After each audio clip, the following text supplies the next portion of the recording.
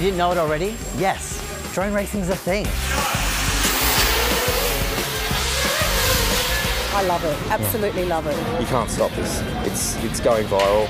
Drone racing has only recently burst onto the scene, both here and overseas. It's been made possible by relatively cheap and very responsive technology. You have really, really manual control that actually lets you kind of bank it at 90 degrees or roll it if you want, um, while having the goggles on and kind of being totally immersed.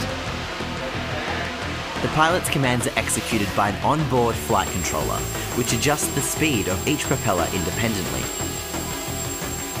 So to hover in the same spot, you want all four spinning at the same speed. To move forward, you want the back two spinning faster.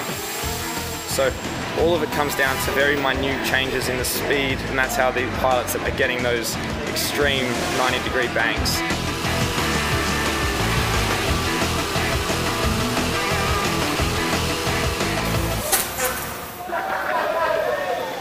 Little more than five years ago, hobbyists could only dream of such control. But that all began to change in 2010 when a group of talented hackers turned a Wii motion controller into a flight controller and shared it online. So yeah, an open source community pulled apart a Wii nunchuck, decided to stick it on a drone and, and that was the start. And the online community has been sharing its knowledge ever since. Would you let me have a fly of yours? Absolutely, Rowdy. I'm actually a beauty therapist, so I actually carry oh. boxes ah. around like this. So you've taken so... your, your nail polishes out and put your drone in? Absolutely, absolutely. Bring your stick, your right stick up. Back over oh, to your oh, right. Oh, oh, and oh, down. Oh, oh, down, Pretty down. Oh, oh. Knock the husband out at the same time.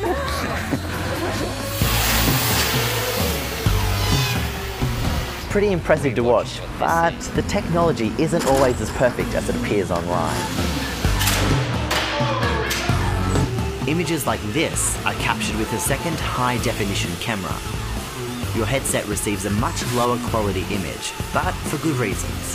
So the way you see what's going on from the drone um, is using pretty much a, a, really small TV station. So it's very analog, very old school, but really fast. Well, there's no delay between when the drone turns and when you see that. Um, if you had a digital link, it would come through half a second later, and you might have hit a tree without even realizing. And then there's the perennial quest for a better battery. How long does one of those last?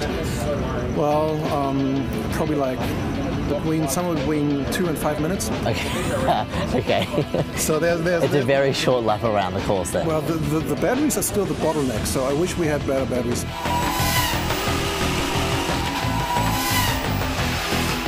This is as close you get to flying without spending thousands and thousands of dollars and becoming a pilot.